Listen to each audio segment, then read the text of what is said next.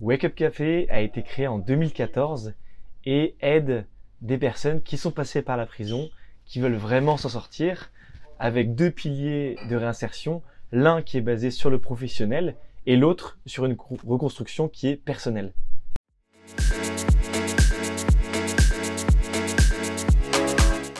Alors la fondation Covivio est un partenaire euh, un peu particulier parce qu'en fait on a, il y a trois manières de nous soutenir.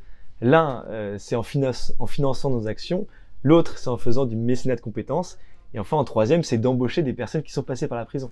Et Covivio euh, coche en coche 2 sur 3 euh, puisque on a la chance d'être soutenu euh, financièrement euh, par la fondation Covivio et en plus Covivio nous aide aussi à travailler nos parcours de reconstruction professionnelle. Donc tous les matins on a un parcours de 9h à midi qui est justement lié à la pré-embauche. Donc on prépare le CV, la lettre de motivation, l'entretien d'embauche. On apprend aussi les codes du travail. alors on a un droit au travail, mais on a aussi des devoirs. Et donc Covivio nous aide justement à restructurer tout ce parcours pour qu'il soit le plus efficace possible pour l'embauche de nos wakers.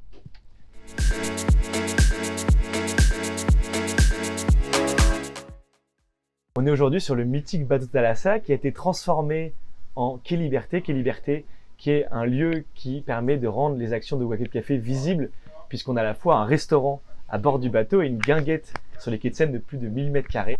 En fait, la particularité de ces restaurants, c'est que 60% de la brigade qui est formée ici à l'emploi de la restauration, du service, de l'accueil, eh bien, sort de prison.